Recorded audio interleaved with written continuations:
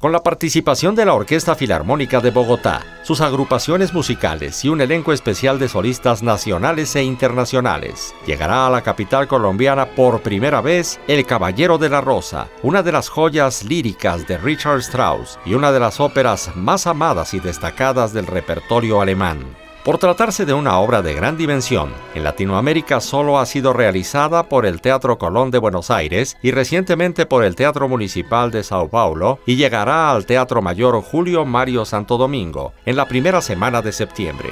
Con la dirección musical de Joseph Caballé Domenech y la dirección escénica de Alejandro Chacón, esta megaproducción contará con la participación de 106 músicos, 40 cantantes y 23 actores. Con información de Edelmiro Franco, corresponsal en Colombia, Notimex.